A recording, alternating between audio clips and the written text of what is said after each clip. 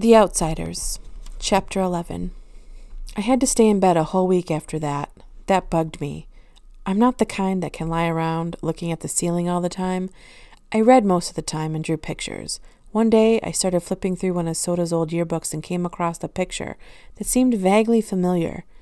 Not even when I read the name Robert Sheldon did it hit me who it was, and then finally realized it was Bob.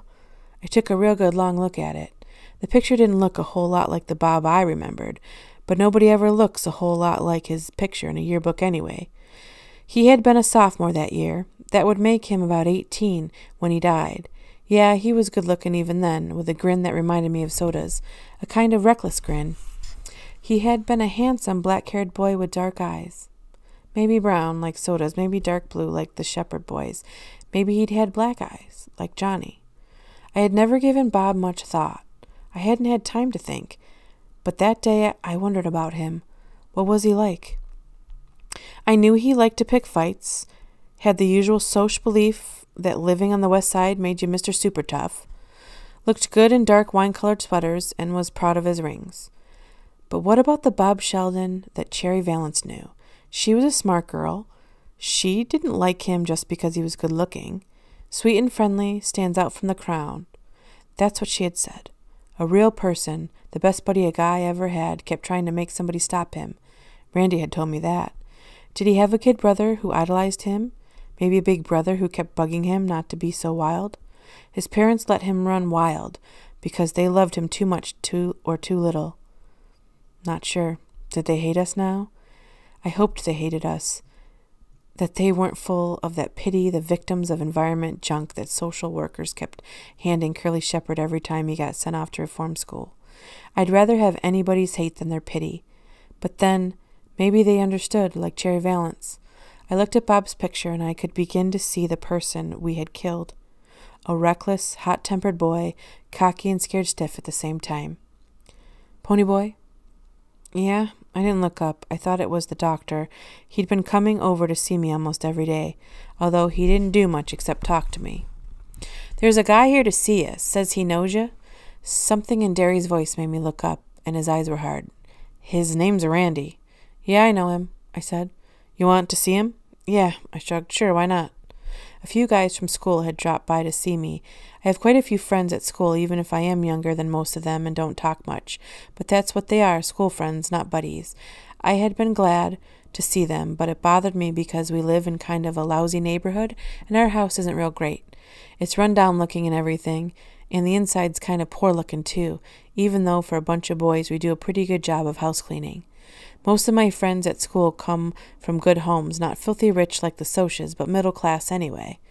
It was a funny thing, it bugged me about my friends seeing our house, but I couldn't have cared less about what Randy thought. Hi, Ponyboy. Randy looked uncomfortable standing in the doorway. Hi, Randy, I said. Have a seat if you can find one. Books were lying all over everything. He pushed a couple of chairs, pu- pushed a couple off a chair and sat down. How you feeling? Cherry told me your name was on the school bulletin. I'm okay. You can't really miss my name on any kind of bulletin. He still looked uncomfortable, although he tried to grin. Want a smoke? I offered him a weed, but he shook his head. No, thanks. Um, Ponyboy, one reason I came here was to see if you were okay. But you, we got to go see the judge tomorrow. Yeah, I said, lighting a cigarette. I know. Hey, holler if you see one of my brothers coming. I'll catch it for smoking in bed.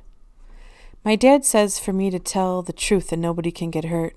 He's kind of upset about all this. I mean, my dad's a good guy and everything, better than most, and I kind of let him down, being mixed up in all this. I just looked at him.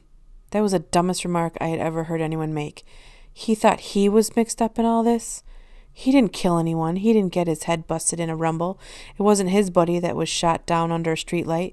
Besides, what did he have to lose? His old man was rich. He could pay whatever fine there was for being drunk and picking a fight. I wouldn't mind getting fined, Randy said, but I feel lousy about the old man, and it's the first time I'd felt anything in a long time. The only thing I'd felt in a long time was being scared, scared stiff. I'd put off thinking about the judge and the hearing for as long as I as long as I could. Soda and Darry didn't like to talk about it either, so we were all silently counting off the days while I was sick, counting the days that we had left together. But with Randy sticking solidly to the subject, it was impossible to think about anything else. My cigarette started trembling. I guess your folks feel kind of awful about it, too. My parents are dead. I live here with just Darry and Soda, my brothers.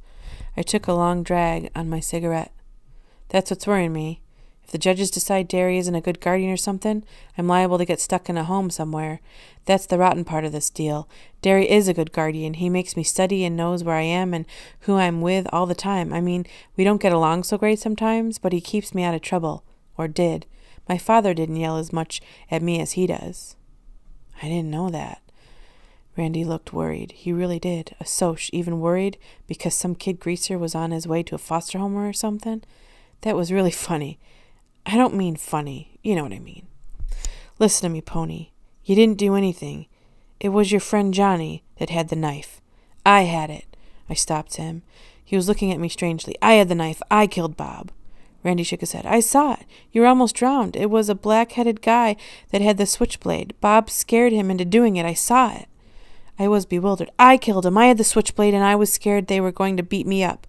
No, kid. It was your friend, the one who died in the hospital. Johnny is not dead. My voice was shaking. Johnny is not dead. Hey, Randy. Darry stuck in his head in the door.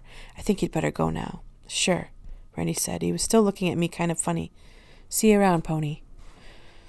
Don't ever say anything to him about Johnny, I heard Darry say in a low voice as they went off. He's still pretty racked up mentally and emotionally. The doc said he's he'll get over it if we give him enough time. I swallowed hard and blinked. He was just like all the rest of the Socs, cold blooded, mean.